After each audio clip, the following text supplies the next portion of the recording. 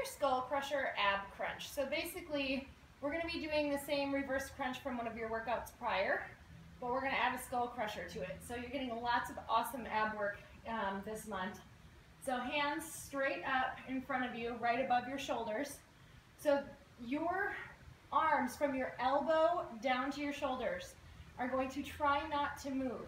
So put your legs up, 90 degrees, push your low back into the mat, because as I go down into a skull crush with dumbbells, I lower my legs, keep my low back pushed into the mat, and come up. I'm really using my lower abdominals here, and I'm staying nice and steady. I have some really heavy weights here as well. These are 15s.